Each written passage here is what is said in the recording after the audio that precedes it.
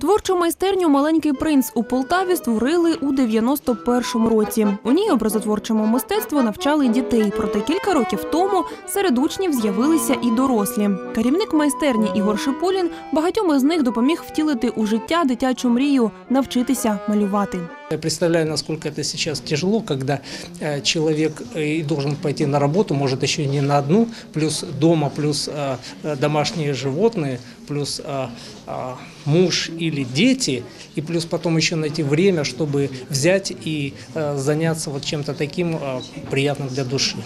Анна Куриленко прийшла до майстерні три роки тому. Каже, хотіла сама собі довести, що можна не народитися з талантом художника, а навчитися працювати з пензлем та фарбами. На виставці дві її роботи. Это очень успокаивает, умиротворяет, потому что э, художество – это работа очень тонкая. И вот эта игра света и тени, это множество этих красок, и она, конечно, умиротворяет внутри, ну и, конечно, вдохновляет на будущий день. А от Тетяну Чугуєвець до майстерні, можна сказати, привела донька. Побачивши роботи Софії після занять, жінка теж захотіла спробувати. Я почала співпереживати, з нею купляти там пензлики, фарби. Потім почала собі підмальовувати там трішечки якісь замальовочки. Почала показувати Ігорю Анатолійовичу.